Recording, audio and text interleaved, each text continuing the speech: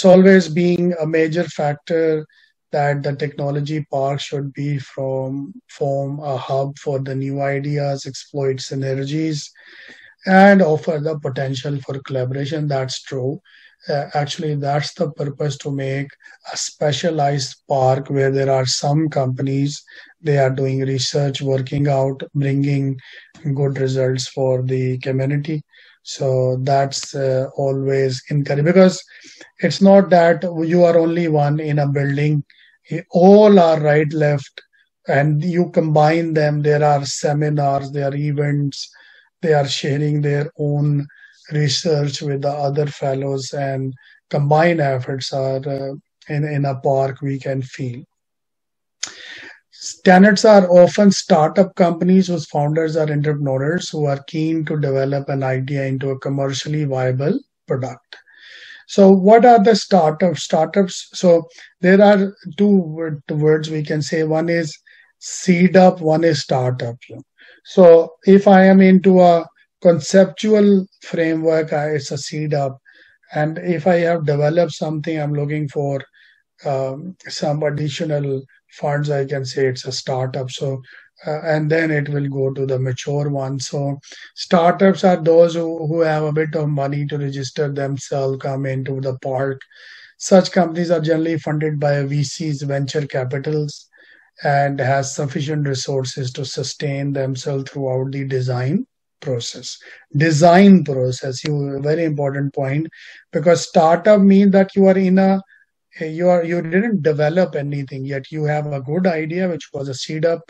Uh, you put the seed up capital mostly from your pocket. Then you went to someone uh, who who is a venture capitalist. He like your idea. He give you say some money. So now you have a bit of comfort to to convert your concept into a meaningful design. Technology park also attract tenants who are subsidiaries of the major corporations who wish to draw up expertise from the local universities. That's also very important for the national growth. Also, you know, some government they bring these big companies just to equip their own citizen with, uh, uh, you know, uh, knowledge upgrade and transformation. That's how it works. Okay, then he says that uh, so design team, the freedom to work on specific research without the distraction associated with being based on Cooperation Main Research and Development Center. Now he will show you a picture. This picture shows that the building in technology parks are generally intended for sole occupancy by individual tenants. They are generally larger spaces that are designed to be kept and adopted to meet a variety of different needs. As we discussed that there might be larger companies, they come and they say, look, we want a specific kind of construction and specific type of uh, building. So they are flexible for it. For example, an engineering laboratory might require sufficient space to construct a full-size prototype vehicle.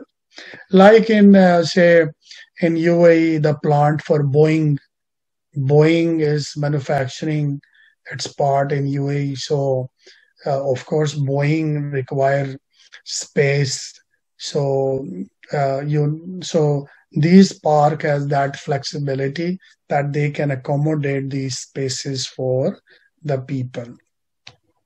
So this is what he says. Now next is most tenants require a steady and reliable electrical supplies, which is also you know it's it's uh, mandatory now. Internet, high speed internet uh, electricity supply and water supply. These are the basic things that everyone should know. And but because it's a tech park, so maybe I am inventing a thing which required triple of the electricity than to a normal tenant. So how they handle that scenario is most tenant require a steady and reliable electrical supplies that does not have usual fluctuation. Because if you have fluctuation it's a science park technology park. So your equipments can uh, burn and because of low and high voltage coming. So some tenants use sensitive electric equipment that would be damaged by any electrical spikes up and downs, while other operate equipment that draw a significant electrical current far in excess of that available from standard electricity. This I told you that some depending on what kind of company you are, what kind of research you are doing, maybe you need more electricity, more heavy electricity. Um, some don't need it that way. So how technology uh, park, so technology park need to invest in maintaining a steady supply of electricity, internet, and all that technology must invest heavily in infrastructure, ensuring that the technology park as a whole has sufficient electrical power and also distributing it safely across the campus. This require more than just installing electrical cables. It's necessary to fit and maintain equipment that prevents changes to voltage and current when a large item of equipment located in the technology park is switched off or on. Here, uh, I just, while reading, I feel that he can ask me a question about health, safety, and environment. Because it's true, if you are a strategic um, a case study student or if you are a strategic manager, you can't ignore environment, health, safety right? So what information i can feel it's uh, it's more about uh, these points. Apart from electricity technology park has to take account of several key requirements. As i told you high speed data links so often crucial because you are doing research you are connected to your head offices you are doing video conferencing you need uh, HD quality. So that's the first point, high speed data. Second is site security is very, very important. If you go Media City, Internet City, Masdar City, uh, King Abdullah City, for example, there is a very secure way to enter and come. You cannot even mm, take out your desk from the office without the approval of the park.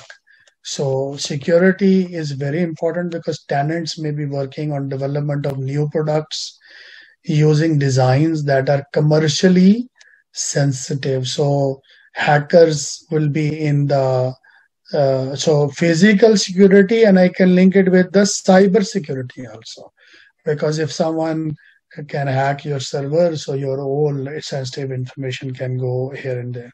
In some cases there would be a wider security issues. For example some tenants might be working on government contracts.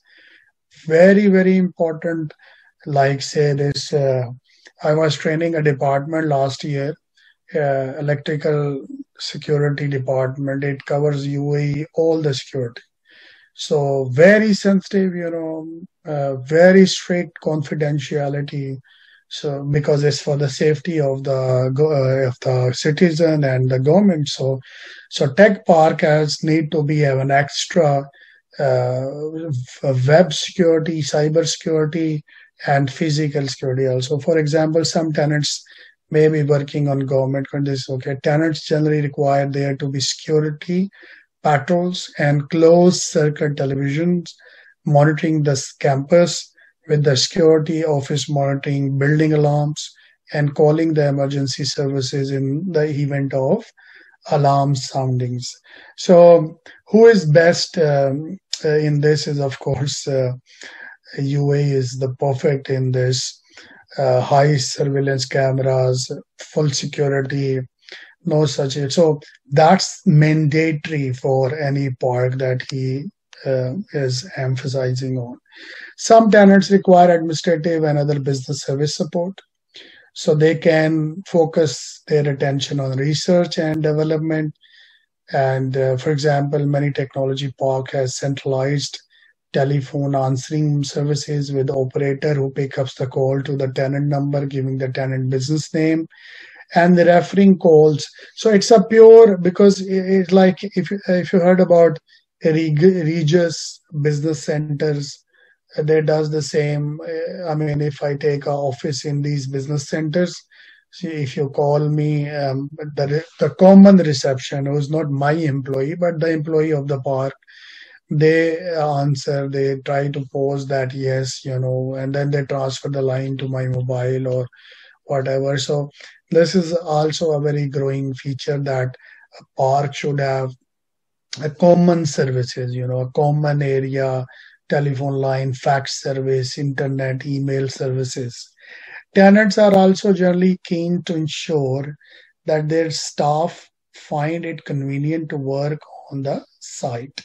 One major issue is the availability of sufficient car parking. So if you see all the be- better parks, they have a food court where employees can go, partners can go and eat their lunch, breakfast, teas, conference halls where where the tenants can arrange a conference hall, conferences, events, and parking is really really in New York in say the the developed countries parking is a big issue.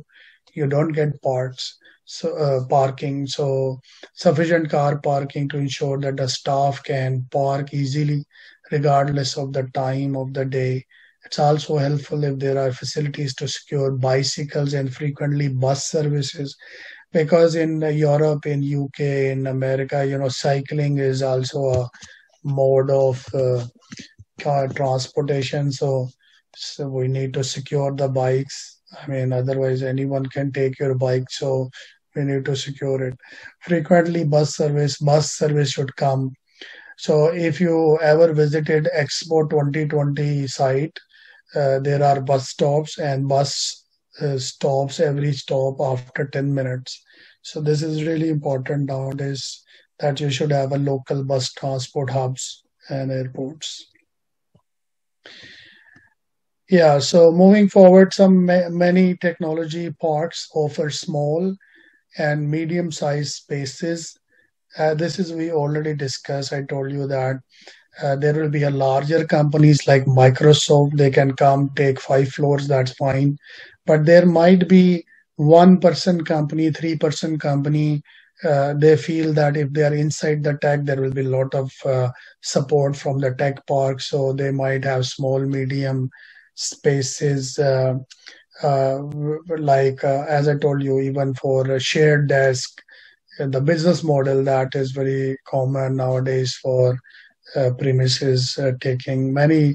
So it can be adopted, also configured to meet the need of the tenants who do not require sole occupancy of the laboratory building. These are smaller spaces are popular with companies that create design using software, testing the results using computer simulations.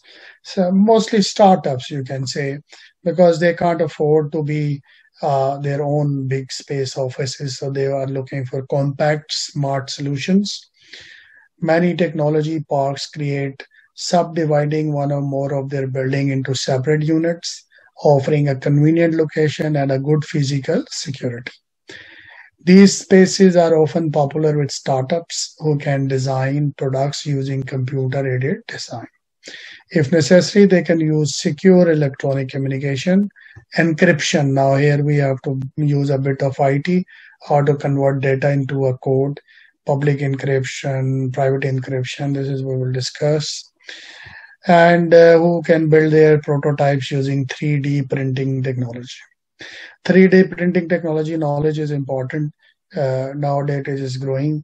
People are um, uh, using it in a lot of places so where what are the advantages, disadvantages? Very important to know. Technology parks generally attracts a wide range of tenants. So this is he gave a breakup. So you can see that uh, ICT, which is information and computer technology, sound a bigger portion. Engineering, computer and hardware uh, is sound big one. Consulting, biotech, little smaller than ICT, electronics. So these are the tenants uh, of those areas which we build up. So and uh, so these are very simple to understand what is biotechnology what is engineering computer but consulting he explained you that the consulting refers to those talents who are not doing themselves, but they are selling the research of the others, third parties. For example, uh, say uh, there is someone, a company in uh, Silicon Valley in US, so they open a company in Media City, Internet City, uh, because they want to sell the technology and there is someone sitting in that park uh, giving a local presence. That's a good idea. They do not necessarily aim to work for their fellow tenants although the large number of nearby business with an interest in research may create a useful local market.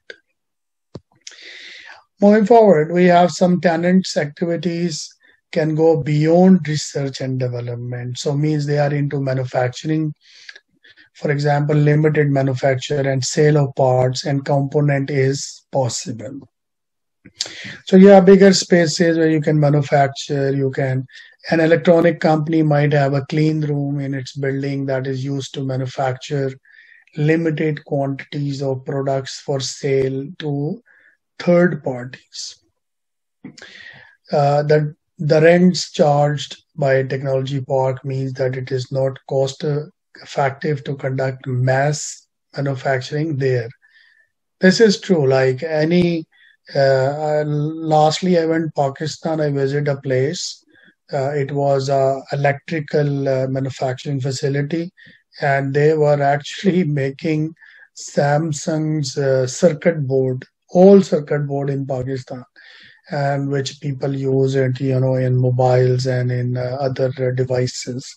So it's truly not a, good option to have a huge stake uh, to take uh, these spaces from technology park but you can do a limited one that will be more cost effective.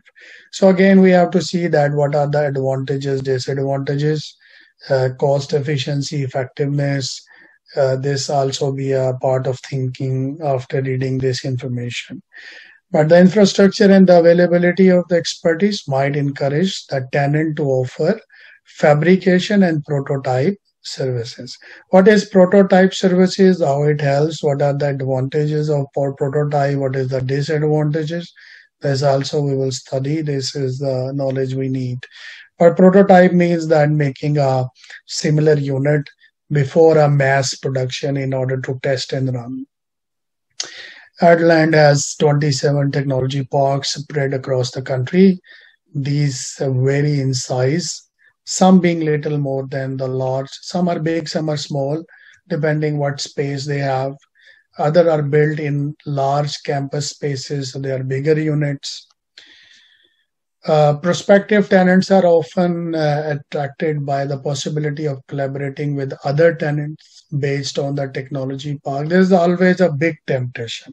Why I need to go in uh, Knowledge Village, uh, Media City, Internet City, Masdar City, Silicon Valley is because uh, my next door tenant can be my customer because we are from one technology. Suppose Samsung is a brand who sell mobile, but they don't manufacture. Manufacturer are the vendors. So if I'm a vendor who can get a value and I get next door my Samsung, they meet me in exhibition events uh, while I go washroom, while I go to the food corner. So it will be an amazing um, opportunity for me to discuss these things with them. Such collaboration can take many different forms, including direct provision of the paid services. There can be also natural synergies, such as tenant who is engaged in the development of batteries to the electrical vehicle, hoping to collaborate with other tenants who are engaged in vehicle designs. This is I told you like uh, this is called vertical and horizontal integrations. So you should know that what does it mean, how uh, it works, what is the advantages, disadvantages even when commercial uh, confidence makes it difficult to collaborate directly, tenants often benefit for being associated with a location that is attractive to potentially interested parties, such as designer, job applicants, or professional conductors. I interview sometime candidate or they say we want to work in DIFC company. because they are so excited from DIFC, Internet City, Media City, Knowledge Village. Uh, this is the power of a uh, park that imp- uh, job applicant want to come there, companies want to come there, uh, because it's create an atmosphere and you get internal businesses. Uh, even he says if you don't get a business still you can say that we are a silicon valley company. I saw people are writing we are silicon so this uh, this really add a branding to your um, uh, and with lot of other advantages of course now we are going into a bit of technical uh, information. So he says that the Knowledge City Technology Park, which is KCTP, was found in 1986 by Adland Capital City University. Uh, KCTP owns site comprising 24 hectares of land and 18 buildings with a total of 320 thousand square meters of floor space. So it looks nice, attractive, big one.